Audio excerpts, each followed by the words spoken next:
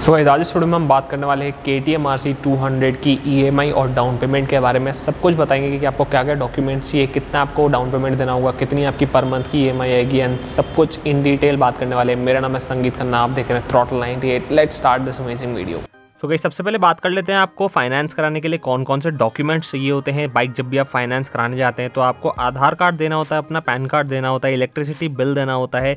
Income proof के लिए दो चीज़ें अगर आप सैलरीड है तो आप छः महीने की बैंक स्टेटमेंट दे सकते हैं बट अगर आपका खुद का बिज़नेस है, आप पर्सनल बिज़नेस करते हैं, या फिर आप ऑन्टरप्रिनोर हैं, जो भी खुद का अगर बिज़नेस करते हैं तो आपको दो साल की करेंट ईयर की आईटीआर देनी होती है।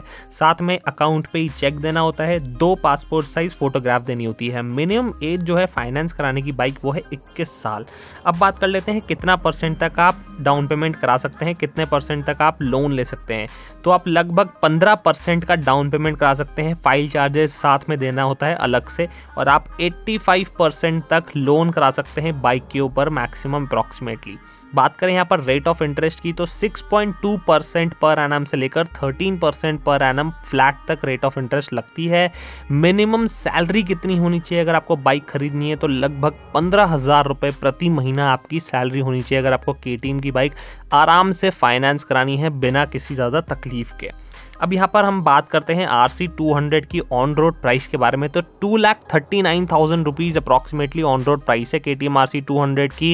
एंड यहाँ पर अगर हम सिंपल सा एग्ज़ाम्पल ले लें तो अगर हमारी सैलरी लगभग पंद्रह हज़ार रुपये है।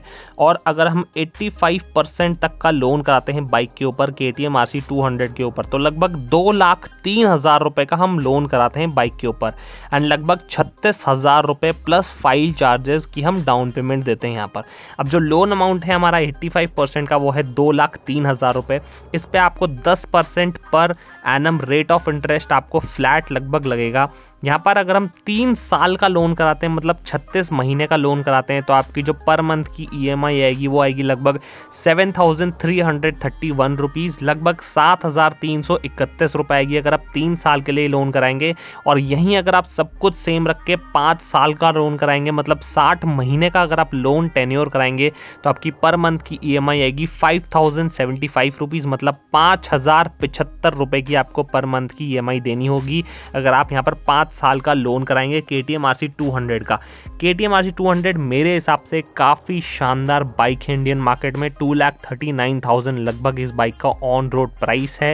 एंड ब्रेक्स काफ़ी बढ़िया हैं। Dual channel A B S आता है इस बाइक के अंदर। रियर टायर सेक्शन की बात करें तो 150 फिफ्टी बाई सिक्सटी सेक्शन का टायर आता है 17 इंच के अलॉय व्हील्स आते हैं यहाँ पर। रियर में 230 थर्टी मिलीमीटर्स का डिस्क ब्रेक देखने को मिलता है मोनोशॉक मिलता है रियर में। सीट जो है वो राइडर की कंफर्टेबल है पिलियन की इतना ज़्यादा कंफर्टेबल नहीं है। ये बाइक लॉन्ग राइड्स के लिए मैं सजेस्ट नहीं करूँगा, सिर्फ़ अगर आपको सिटी में चलानी है कॉलेज जाना है या अपने ऑफ़िस जाना है तो आप ये बाइक ले सकते हैं। पिलियन के लिए कंफर्टेबल नहीं है ये बाइक बिकॉज़ इसकी सीट इतनी ज़्यादा कंफर्टेबल नहीं है।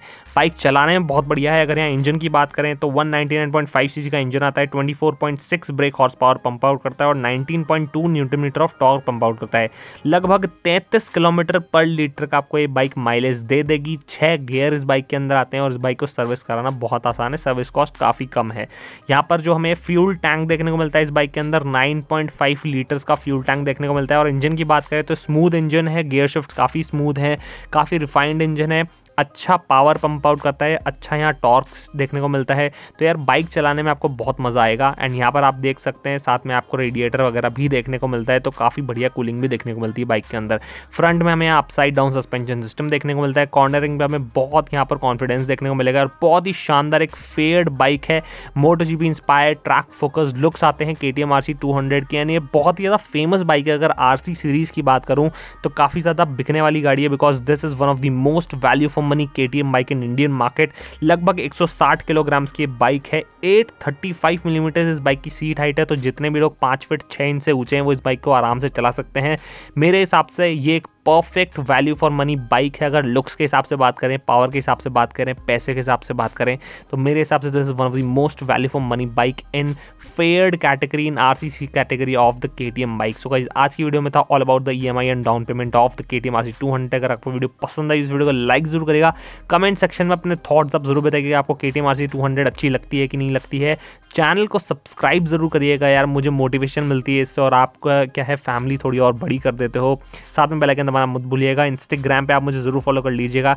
यहाँ पर आपको कोई भी क्वेरी है तो आप डीएम करके मुझसे पूछ सकते हैं। Throttle underscore night is match का मंडल मिलते हैं आपसे ऐसे एक exciting video. But till then, be happy and ride safe. Bye bye.